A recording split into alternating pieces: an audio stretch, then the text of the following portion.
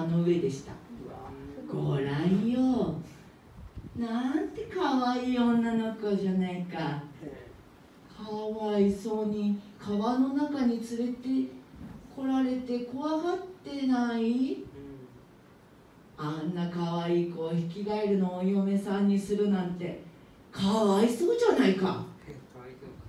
よし。みんなでこの睡蓮の茎を食い切って引き返るの来ないうちにこの子を逃がしてあげよう。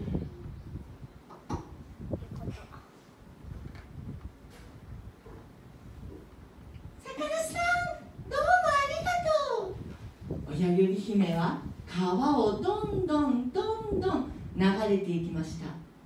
いいお天気で周りの景色はとても綺麗でしたから親指姫は楽しくなって歌を歌っていきました。それを聞いていたのは一匹の大きなコガネムシでした。ああなんて綺麗な声なんだろう。あの子の